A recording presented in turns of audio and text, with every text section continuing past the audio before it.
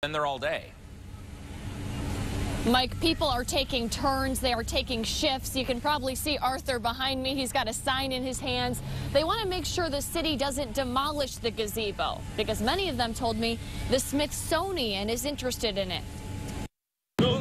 Save beautiful gazebo. Remember ugly truth.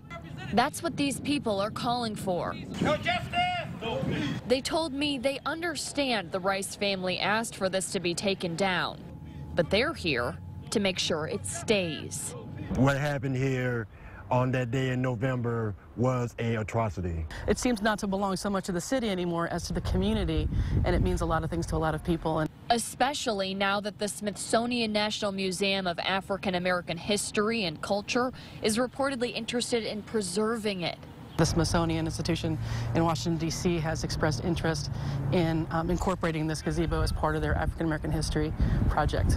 It's unclear whether the museum wants to move the gazebo to Washington or preserve it in its place.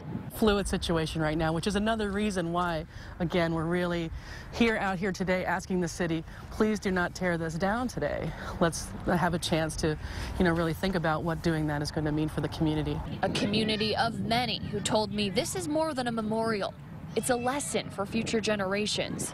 And while they say they understand the family's original desire to have it removed, they hope they and the city of Cleveland will reconsider. and it hurt and it still hurts. We asked the Rice's family attorney for a comment. He said, quote, Although the Rice family wanted the gazebo demolished, it supports the concept of historic preservation by a responsible institution. City officials did not want to go on camera, but told me they're looking into comments made by Smithsonian employees. We'll bring you the latest as soon as we have it. Live in Cleveland, Tara Molina, News Channel 5.